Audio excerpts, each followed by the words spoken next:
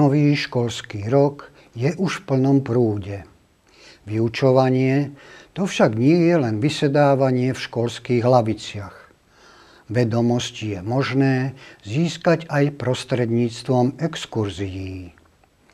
Vedenie niekdajšieho stredného odborného učilišťa Drevárskeho, dnešnej strednej odbornej školy v Žarnovici, ponúkalo takéto možnosti svojim učňom a študentom skutočne veľkoryso.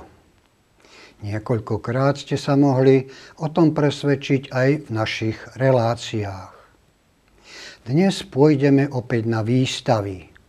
Bude to v októbri 1998 v priestoroch agrokomplexu v Nitre. Prinášame záznamy z exkluzívneho autosalónu a z nemenej pestrej výstavy Hike Tech.